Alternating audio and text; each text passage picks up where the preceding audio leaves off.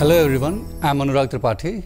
I am a faculty member in the Department of Physics at IIT Hyderabad and I will be the instructor of this course which is Introduction to Quantum Field Theory and this is the part 1 of, of the course and the course is in two parts. So, in this semester you will have the first part and this course will be 12 weeks course okay, and there will be um, uh, weekly assignments and there will be an exam at the end okay, which you can choose to take. And in this course, I will be mostly covering real scalar field theory. Okay, so the discussion will be limited to real scalar fields.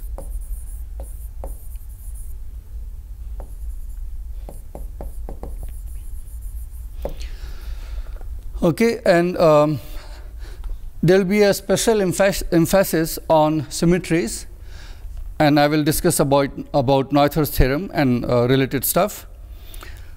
And um, because we will be discussing symmetries, it will be important that we cover groups. So, there will be some um, time spent on um, learning group theory, not to great detail, but some, uh, some detail.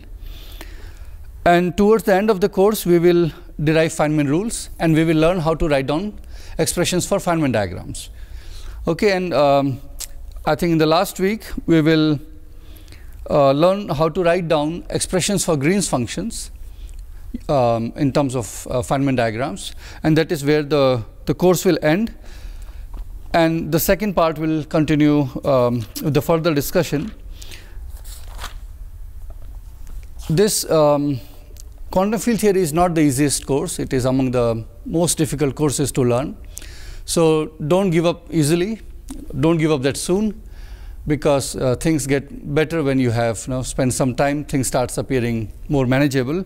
So, even if you find it um, tough in the beginning, I would encourage you to uh, continue and feel free to ask questions.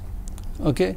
Th there will be a forum in which you can ask questions and do not worry whether you think your question is a silly question okay, that you can leave it leave for others to decide, but you feel free to ask and we will uh, answer all of them. And I hope that you will enjoy learning this subject. Okay, and I will strongly encourage you to take the exam because that provides a little pressure on you to you know, learn properly and do all the assignments. Okay, thank you and hope to see you soon.